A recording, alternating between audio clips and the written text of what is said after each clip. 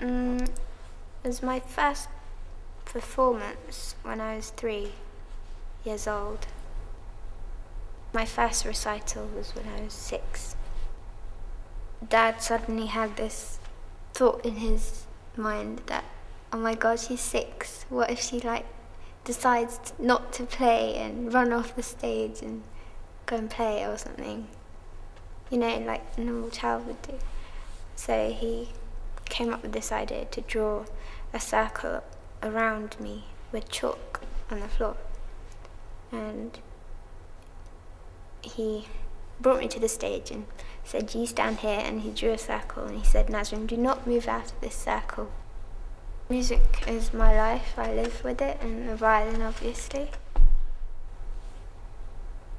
Like, I wake up, and it's like breakfast, you know. It's hard to describe your own world. I find it easier to communicate through my instrument more. I know it's hard with me because I'm a very closed person. I don't know, I like to keep it all inside. Maybe stage by stage I will open up.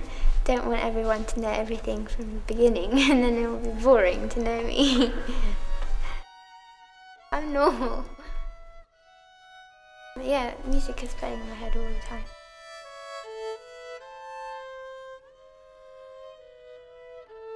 music is like my weapon.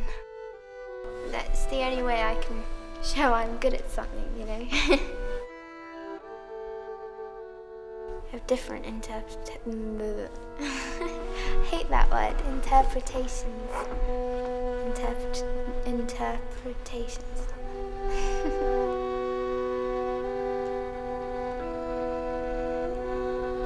Parents. It's all because of my parents, actually. In the beginning, I'm very grateful for them. You should practice. I try to keep my